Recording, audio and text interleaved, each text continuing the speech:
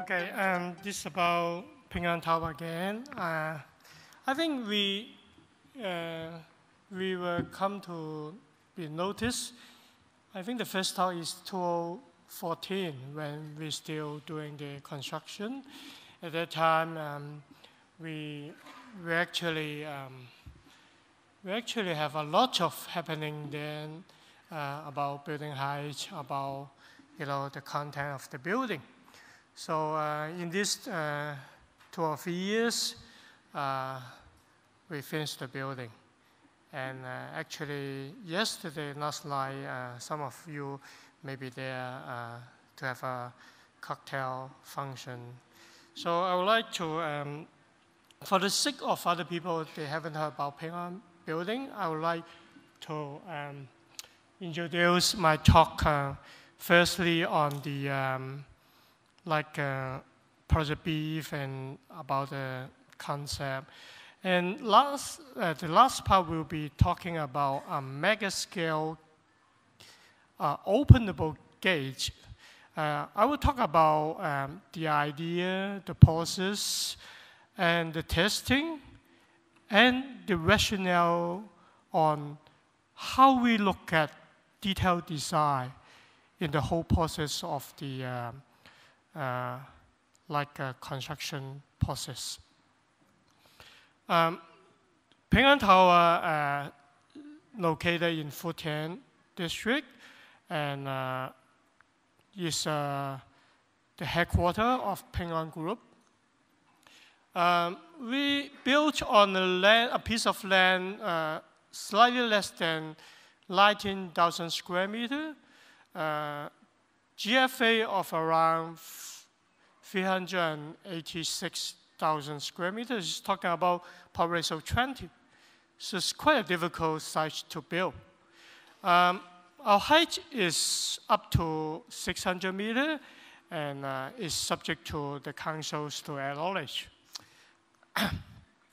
uh, David told me, uh, because uh, at the beginning I wasn't involved in the design process, he told me that uh, the building of the design of like uh, picking up a piece of coal, so it go all the way up to vertical.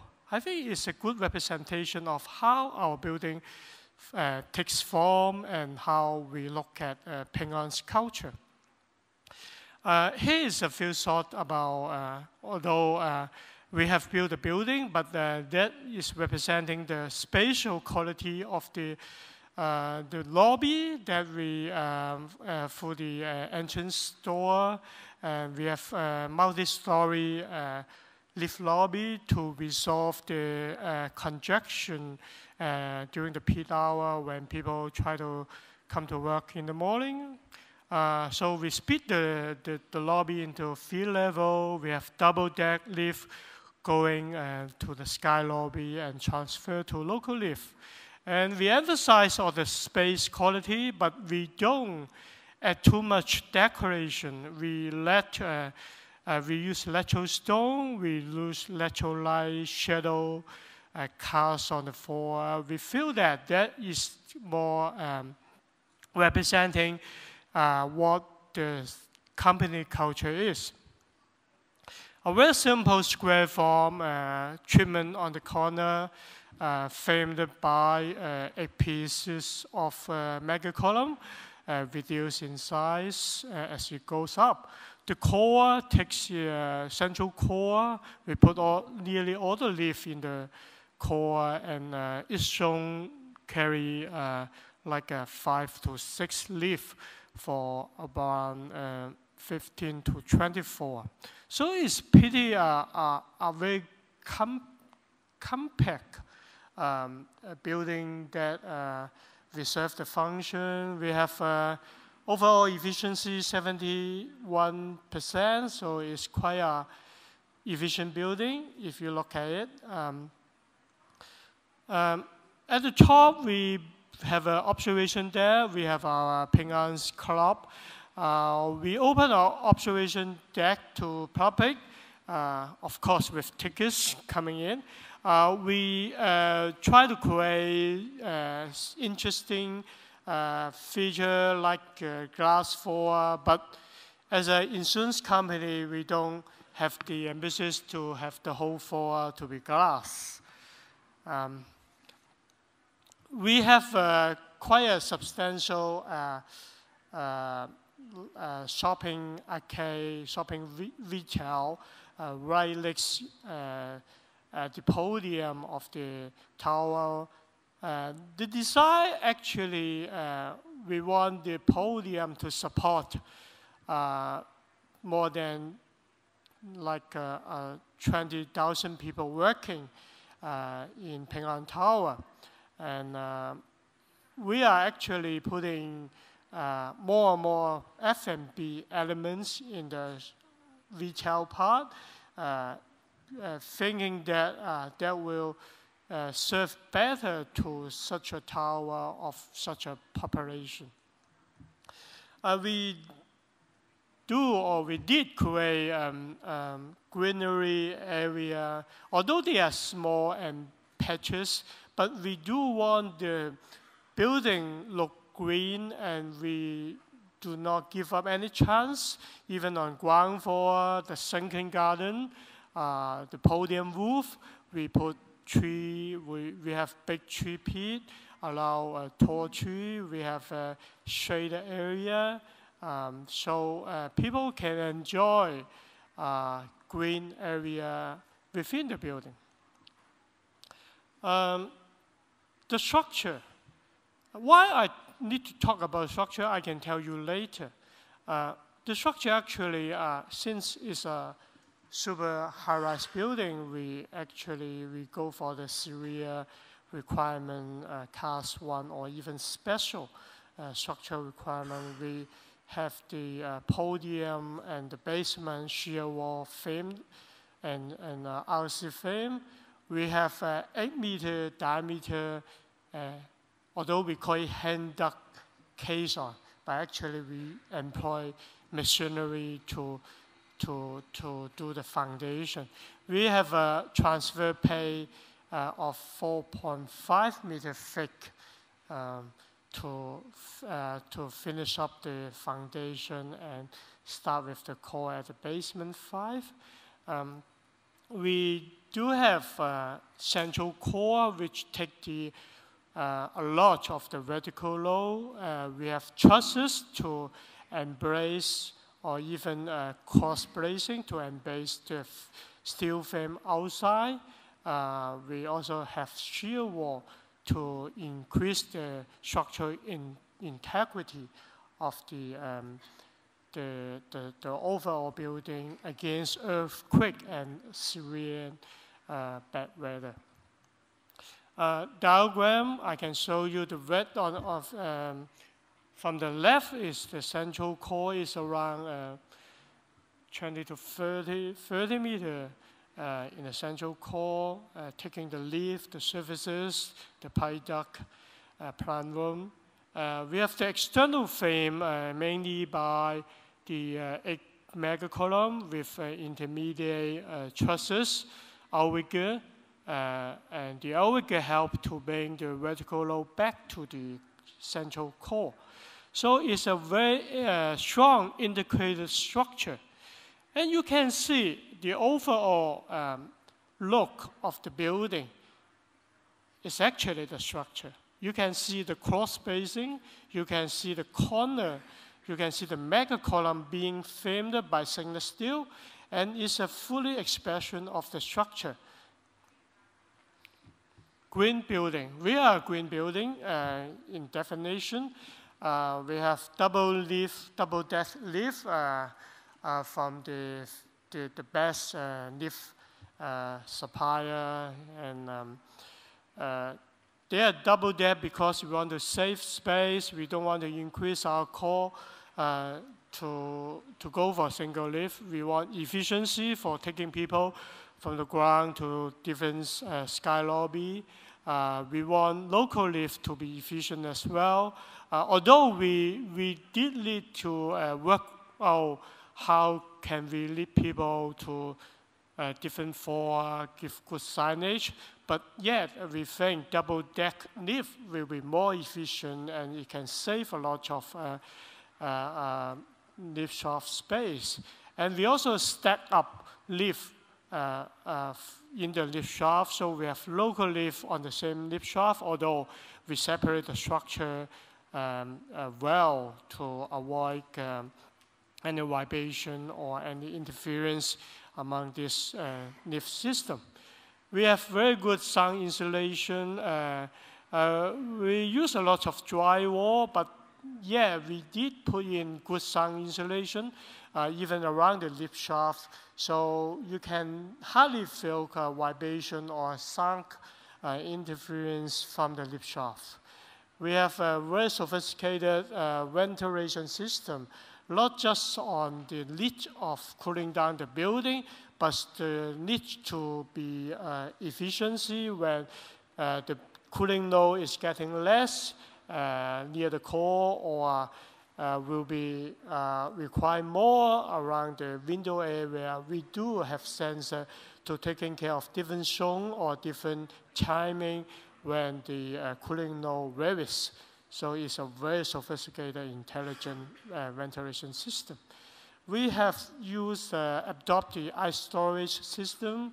Uh, we make ice uh, at night time to save once the cost or to save the uh, peak uh, um, usage or, the requirement of using electricity at the same time.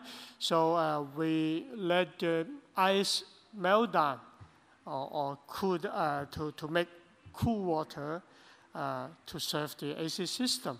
It has been adopted in other buildings in Shenzhen or even in Shanghai, but we want to run the system better to, to make it more efficient and, um, and, and we want to keep the system working well.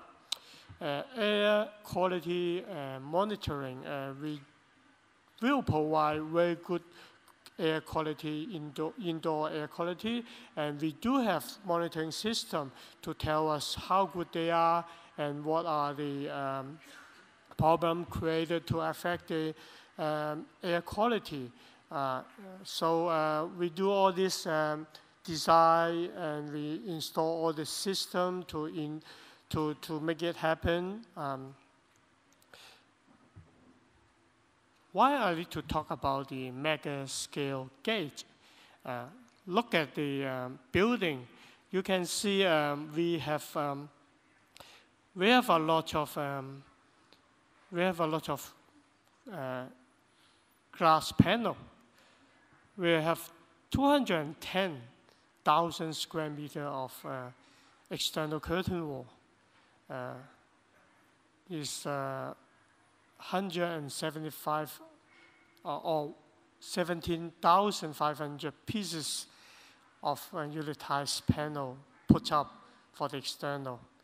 We need 13 numbers of BMU, uh, the building maintenance unit, to clean up the building. Mainly, they are four at the middle of the uh, building, so they serve uh, in four sides. And um, they have another four set and at the top, the, the uh, 96 floor to take care of the top half of the building. Uh, we have a big uh, BMU uh, to serve the, the crown, what we call, uh, because it's, uh, it's sloping glass and we need to be very careful on handling the cleaning requirement. we have another four small number self-climbing machine to take care of the tip top. We call it the diamond crown. So um, we have all that this kind of um, insulation to just to clean up the building. Um, there uh, also uh, uh, requirement on um, openable window because the the uh, BMU actually will be stored in each of the uh, mechanical floor, like in the middle or 97 floor. Uh, the one at the top uh, is a sort of a telescopic BMU, We really very big um, openable gate or door to be installed to allow the operation of the, the, um, the BMU. Um, so we start off, uh, say, challenging ourselves to, to design uh, a very big uh, openable gate, mechanical driven, uh, talking about 10 to 12 meter in width and uh, 8 meter in height. I give you an image of this. So you can see, you can see on the two sides the folding. The folding part actually is the uh, openable gauge uh, moving from a closed position and then they fold to make the opening. And uh, we have four pieces of this gauge uh, around the, um, the side of the building we think about the safety and the integration between the BMU and uh, the, this, uh, this folding gauge. Uh, this is a flow chart. Uh, uh, I'm sorry I didn't translate it to English because they are the original document uh, in our working um, detail design team. Um, they always have, you know, from, from the closing position, I don't know where there's a pointer. Yeah, from the uh, on the on your on your left hand. Uh, so here is the flow chart. This is the closing position, and we have to go through a flow chart to how it come to open. You know, to open such a gate, we're talking about more than 100 ton of a gate made of steel and kept with glass and stainless steel. So it's a lot of uh, risk to open a, a, a, a, gate like that. And uh, all the motors should be, should be synchronized. So we have all kind of question or all kind of risk consideration. And you see, this is the red rectangle is representing is an automatic shutdown. So you can see this arrow. If you have any malfunction on the signal or we have any uncertainty on the condition of the opening, whether it's smooth or it's stuck or it's not synchronized, it always kickstart the automatic shutdown. So we have go through all this process. We, we have to tell the system uh, from time to time how it works or how smooth the, move, the moving part are. So um, the whole process needs a nine-month study before we put the operation uh, or the installation. Of course, we, we, we have the factory fabrication, which take quite a long time. You don't see this as simple thing. They are hinged, they look simple. Uh, we are talking about this hinge is like a, a human's high store. So they are mega scale hinge. Uh, we talk about school, it's like my arms, you know, size. So we are talking about huge uh, element uh, made out of steel. They are not welding together because the precision requirement is down to millimeter. So they have to out, like a, out a stone from a big piece of steel. And they out the hinge, like uh, the joint here, they are one piece. All this, one piece. So they don't rely on welding, they don't rely on mechanical fixing, they just rely on the mechanical property of the steel to give the strength. And they put every single component into position. So that amazed me and that tell me as an architect, how can you build a building? You need to look at detail like this. So we have to carefully design the building component. We have to make sure all the fabrication is correct down to one millimeter uh, accuracy. We have to test the frame assembly in the factory we have to measure every single component uh, in three-dimensional format. we put it up vertically and see whether we have deflection problem. We have the committee, the detailed design committee working long time to make sure um, all the flow chart or, or the flow chart is fulfilled in a proper manner. So I only have five minutes. I don't think I have another five minutes. So um, this, why I want to share the experience of, the, of this, that tell me, that give me, that let me learn. When you build a building, you just you don't, don't just look at its elevation, you don't just look at its, uh, uh, of course, we, we need to look at the overall um, overall design of the building. But we also need to look at the construction process. We need to look at the detail, detail design seriously. Otherwise, you don't have a, a steel gauge more than 100 tons in weight. And you can move, although it's slow, move up and down when the, and it also synchronized with the BMU operation. Uh, it also synchronized itself in bad weather. So I think we, as an architect or as a, a person to, to build a building, I think we look at, we need to look at every single detail of the building, not even, not even on the drawing board, but on the construction process to make sure things put together properly and nicely. Then you have the final product, Ping An, Finan Ping An Financial Center. Now it's finished. And thank you very much.